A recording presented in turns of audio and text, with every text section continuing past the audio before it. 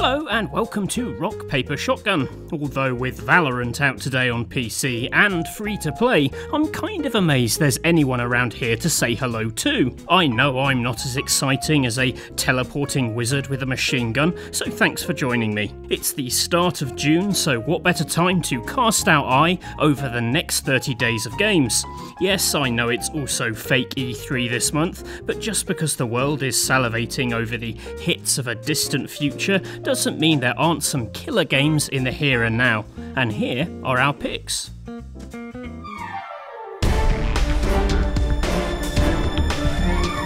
Valorant is the obvious place to start. In a nutshell, it's the speed and ferocity of Counter Strike married to the character powers of Overwatch. Now, as a 35 year old, a dinosaur in gaming years, I don't have the reaction times to hold my own in CSGO, so the idea of using character abilities to outsmart teenage assassins holds great appeal. Of course, that's only how it works on paper in Riot Shooter.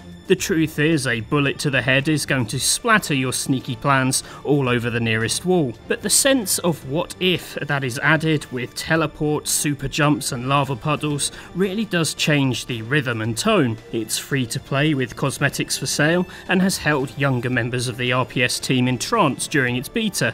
They probably just like killing me, to be honest. If you'd like to kill me too, Valorant awaits.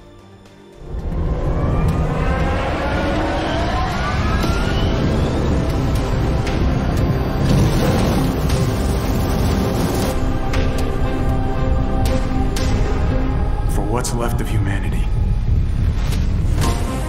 Disintegration is an intriguing one. It's the first game from V1 Interactive, a new studio headed by Bungie's former creative art director, Marcus Lehto. This is a guy who knows how to create iconic worlds and machinery, but does it have the game to back it up? To its credit, this isn't a simple sci-fi FPS. You command a group of soldiers on the ground, RTS style, while you hover overhead in a motorcycle that doesn't care one jot about gravity. You need to strike the balance between ordering your ground troops around while watching out for other airborne bikers that are looking to take you out. It could turn out that this genre hybrid doesn't appease either fan base, but I liked what I played at Gamescom last year, and any chance to look at mad sci fi landscapes is more fun than being stuck in my house where all I see is this massive weed slowly growing outside.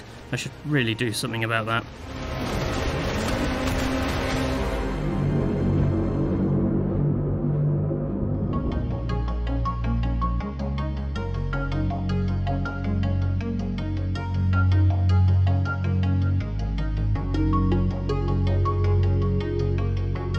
Many PC games are about building bigger and better spaceships. In Hard Space Shipbreaker, it's about taking a hammer to that hard work. You're a zero-G salvager tasked with breaking down hulking great spacecraft using a variety of laser cutters to slice out precious components, and a grappling hook to yank away plating like you are peeling a giant metal orange. I like to think of it as House Flipper, but the house is A, in space, and B, can explode for millions of different reasons. You might saw through a fuel pipe, detonating the whole thing, or puncture a hole in the side, decompressing the ship and sending yourself flying into the abyss of space. I love that someone has made a space game where the enemy is space itself, and we'll have a lot more on Shipbreaker when it hits early access on June the 16th.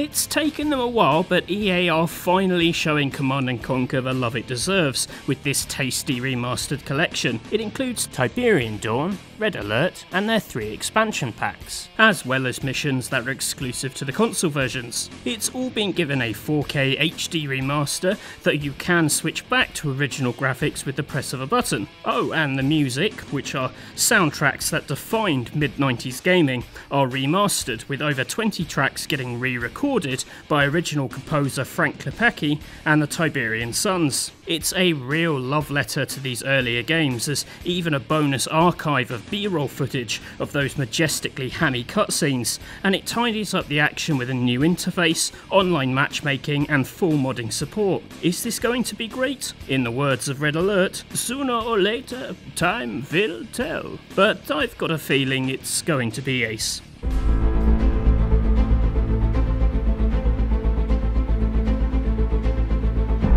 Tainted Grail is an RPG based on a tabletop game that stormed Kickstarter in 2018, where it raked in close to £5 million. On PC, that flat cardboard becomes a handsome isometric world with a combat system based on stitching together combos from a deck of battle cards. Since it was last seen in alpha, the combat has had a big visual makeover, now showing the fight playing out with dinky 3D models, so it's less jarring when you switch from world exploration to battle battling. It's also getting Conquest mode, which is the focus of this early access release. This is a blend of the main campaign's mechanics with rogue-like elements. Think randomly generated mazes, but with lots of narrative encounters and a village that you build up to help with future runs. Here's hoping that trying to build two substantial game modes at the same time doesn't impact the quality of either.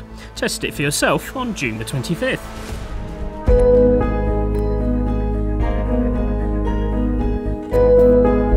The Almost Gone beguiled us when we covered it as part of our Indies Uncovered series earlier in the year. You can click the on screen link for a proper demo, but in short, this is a narrative driven puzzle game that sees you assume the role of someone stuck between life and death. In order to figure out how you ended up in limbo, you spin and prod a series of dioramas to reveal the answer to everything it's unlikely to be 42. Not many big laughs in this one we fear, but despite the macabre topic, the Diddy models are quite cute. You can get to the bottom of this mystery once the game launches on the 25th of June.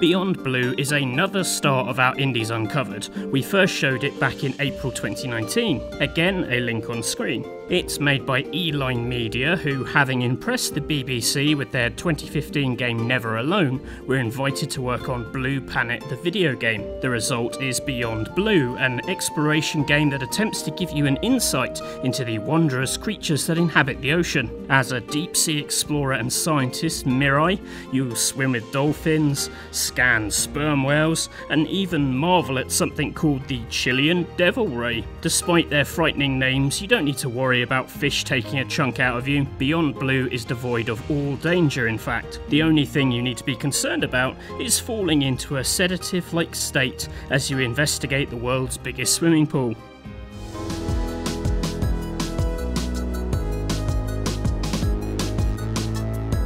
Twin stick shooter Danger Scavenger is set in a cyberpunk themed universe where huge corporations are effectively controlling the entire world, so not too dissimilar to our own.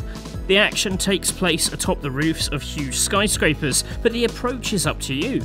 Each one of the playable scavengers has their own skills and playstyle, so you can go in all guns blazing if you like, or alternatively, you can apply a bit of strategy and go in with some other guns blazing. It's up to you. The looting and shooting might not redefine video games, but it sure looks like a good time to me. We'll find out just how good a good time it is in the middle of the month.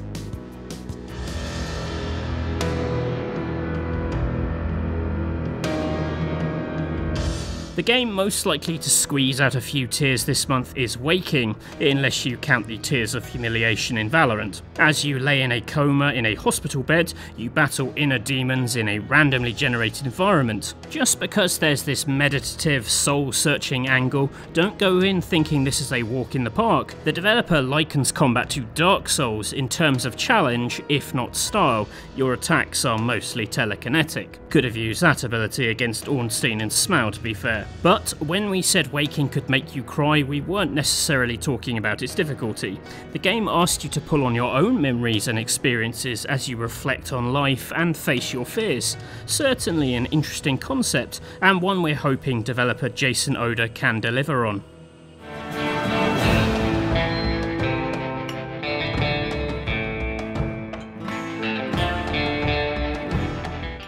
Ah, Desperados 3, aka The Good, the Bad and the Sneaky. It's a return to the real-time stealth tactics of the 2001 classic, but this time by Mimimi, who made the excellent Shadow Tactics. It's a proper cowboy romp as you use a wide selection of powers to outsmart bandits, freeze time to a coordinate ingenious team takedowns, and pull off audacious assassinations in levels that borrow a lot of tricks from the Hitman games. You can even mind control a chicken if that's your deal. It's all presented in this gorgeous isometric world that feels like having a miniature Westworld living inside your PC. There's a demo on Good Old Games that I really recommend if you have any interest in A. Cowboys, or B. Real time tactics games like Commandos and Desperados 1.